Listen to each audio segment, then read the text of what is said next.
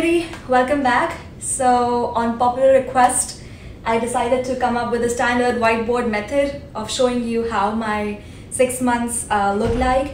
And I'm sure this looks a little intimidating, but let me, let me tell you that this is the best possible way of going around your rotations, of finishing your U-World, UWorld, Kaplan, whatever resources you have.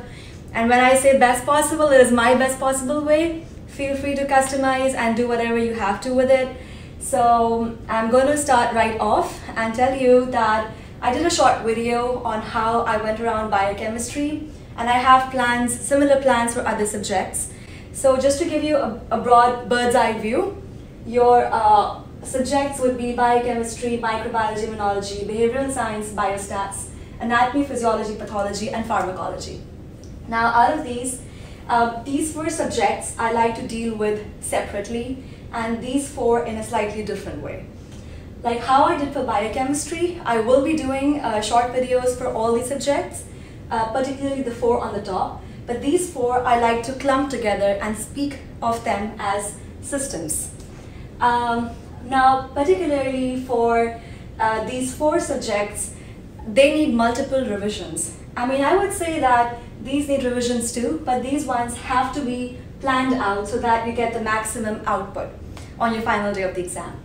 So diving right in, uh, we clearly have a six month schedule and the months being divided as one, two, three, four, five, and six. Now we first need to know what kind of self-evaluation method would we want to use. Now the most standard way of self-evaluation is to take NBMEs um, so I would suggest taking an NBME, not an, but two NBMEs at the end of your first three months of revision, and then two NBMEs at the end of your fourth month, and then NBME or UWorld simulation at the end of your fifth month, and then finally your exam day. Now, between which NBMEs you want to decide to take, that should be your call. Uh, but I would suggest taking two NBMEs on one day back to back because that makes you have a real feel for an 8-hour exam.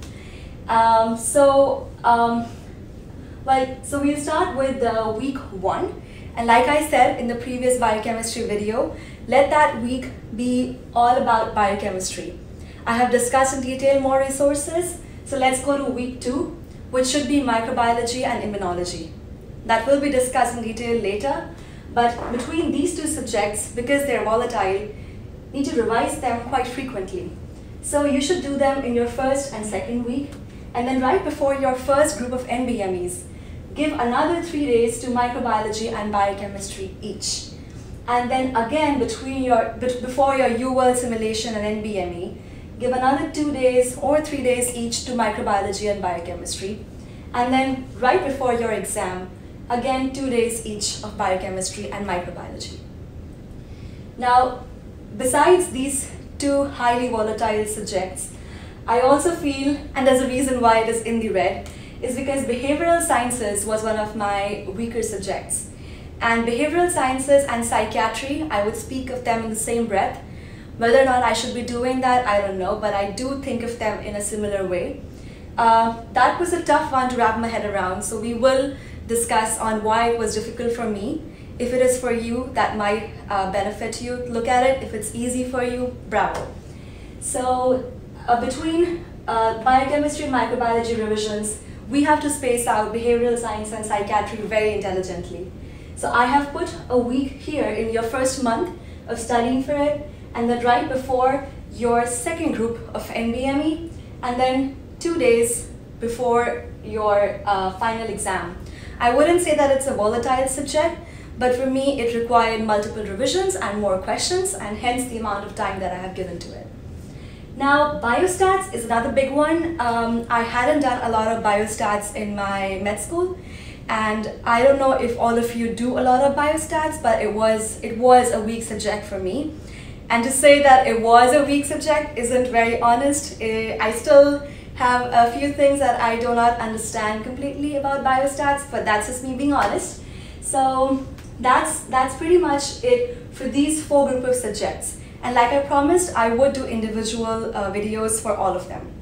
Now let's look at the second group, which says anatomy, physiology, pathology, and pharmacology.